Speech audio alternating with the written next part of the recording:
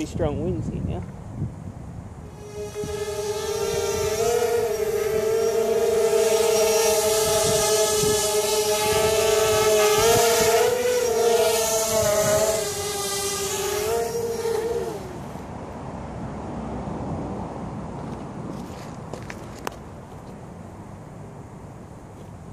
I think the battery's almost dead. See how we go.